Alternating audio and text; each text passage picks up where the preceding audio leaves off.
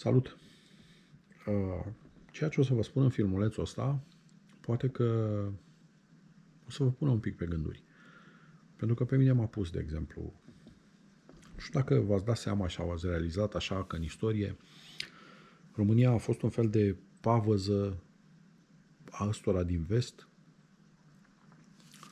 contra diverselor vicisitudini ale istoriei și diverselor popoare care s-au abătut prin zona asta. Uh, fără ca ăștia din vest să plătească pentru chestia asta, adică fără ca ei să plătească ceva pentru că România a fost pavăză în drumul trupelor otomane, de exemplu, în drumul trupelor romane, de exemplu, o anumită perioadă, pentru că n-au reușit să, să îi, îi oprească total pe romani, dar o anumită perioadă au reușit să o facă. Și noi care am stat și am, ne-am bătut cu ea și am ținut uh, apărarea Europei, în timp ce ei își dezvoltau, își făceau castele, își făceau clanuri, își făceau, se dezvoltau. Noi nu, că trebuia să ne batem cu turcii și să facem. Acum suntem în aceeași situație. În situația în care noi suntem iarăși pavăză, dar din partea asta altă, dinspre Rusia. Noi, polonezii, ucrainenii, suntem acolo, da? Adică la noi să, să termină linia aia. Și nu prea plătește nimeni pentru asta. Din nou, se repetă istoria. Nu prea vine nimeni să spună, bă, stați puțin, că voi sunteți pavăză, hai să vă ajutăm să vă dezvoltați. Nu. Tot noi trebuie să dăm bani, să cumpărăm rachete, avioane, adică nu vine nimeni să ți le dea cu toate că europenii ar avea un interes direct în toată treaba asta. Cel puțin vestici, cel puțin din punctul meu de vedere. Bun.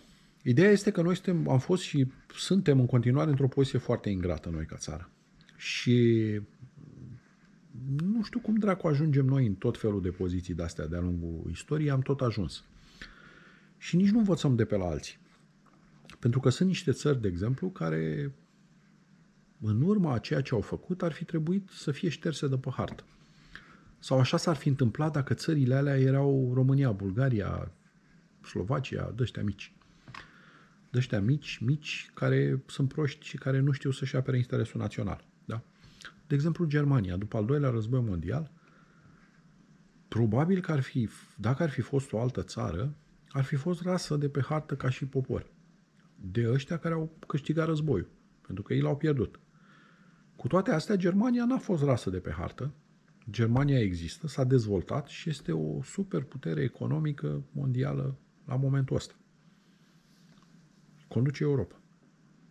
De ce dracu nu am învățat noi de la ăia cum au făcut ăia după al doilea război mondial în perioada aia când toate erau contra lor?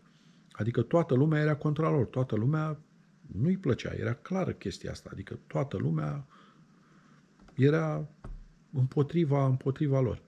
Și cu toate astea, nemții au reușit să se ridice și au reușit să-și facă o, un nou nume, să-și facă o nouă țară și să conducă pe Europa și să fie primii acolo în lume. Aceeași situație a fost cu Japonia. Nu chiar similară, dar tot pe acolo. Păi de ce nu se uită ăștia ai noștri și de ce nu ne uităm noi cum au reușit ea să facă și care sunt ingredientele pe care le-au folosit și cum au reușit să negocieze și să păstreze totuși, să-și păstreze identitatea și să-și păstreze puterea de negociere și puterea de influență, astfel încât să nu fie rași de pe hartă și să se dezvolte și să ajungă la o anumită, la o asemenea dezvoltare. Pentru că iarăși Germania sunt o forță, o forță care are un cuvânt extrem de mare de spus în lumea asta, și dacă România ar fi fost în situația Germaniei, probabil că noi acum am fi fost dragi de pe hartă. Nu mai existam ca popor. Nu că nu s-ar dori asta, că din ce înțeleg se dorește asta de mult. Se dorește de multicel chestia asta. Și și acum se dorește prin ruperea teritoriilor și prin autonomii care se doresc să se da unor minorități. Adică sunt niște planuri de astea în continuare care se fac. Și noi cumva rezistăm. Dacă o să stați să ascultați și ce vă spun uh, niște oameni, o să vedeți că după 89, undeva prin 90, 92 până până 95, România a fost într-o situație foarte nasoală. Adică nimeni nu era cu noi, uh, se făceau jocurile în alte părți și se dorea ca noi să nu mai existăm. Cu toate că dacă stai să o vezi, să o asculți așa, vi se pare aproape imposibil să se întâmple chestia asta. Dar ea se poate întâmpla pentru că se rup teritorii din țară, așa cum s-a întâmplat după al doilea război mondial, și odată rupte teritoriile alea din țară și uh, declarată autonomia și după aia și se încearcă treaba asta, o vedeți, adică e foarte clar că se încearcă în continuare chestia asta și că nu s-a oprit uh, scenariul ăsta. Da? Uh, nu înțeleg de ce ăștia de la noi nu se uită ce, bă, ce a făcut Germania atunci, bă, ce a făcut uh, uh, Japonia. Noi de ce nu putem să facem asta? Nu vrem sau nu știm? Eu cred că mai degrabă nu vrem și că avem niște politicieni care sunt incapabili și care sunt coruptibili. Că despre asta este vorba. Adică ca să poți să faci treaba asta și să poți să te duci și să stai la masă cu aia și să ți impui punctul de vedere, trebuie să nu fii coruptibil și să-ți apări interesul național și să știi pe ce te bazezi în momentul când discuți cu ea acolo. Pentru că altfel e foarte dificil. Dacă avem un președinte ca Dobi care să duce acolo și își vede interesul lui propriu și personal ca să se pună la adăpost după ce trece criza asta și semnează pentru niște reactoare nucleare modulare în condițiile în care anul trecut în iunie s-a ratificat un acord cu Statele Unite privind construcția, reconstru, construcția uh, reactoarelor 3 și 4 de la Cernavodă și reconstrucția reactorului 1, dacă nu mă înșel. Și acum, hop, claie peste pupăză, vine din nou și se stratifică un alt acord, adică semnează Dobi un alt acord cu centrale nucleare modulare. Da? Ăla alt fiind în vigoare acordul ăla alt.